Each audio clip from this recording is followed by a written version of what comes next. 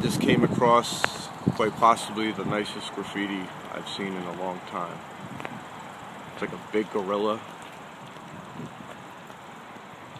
And over here is like a Cleopatra type chick.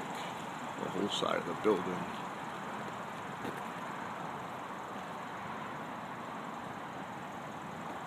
See it? I'm all the way zoomed in, so fresh.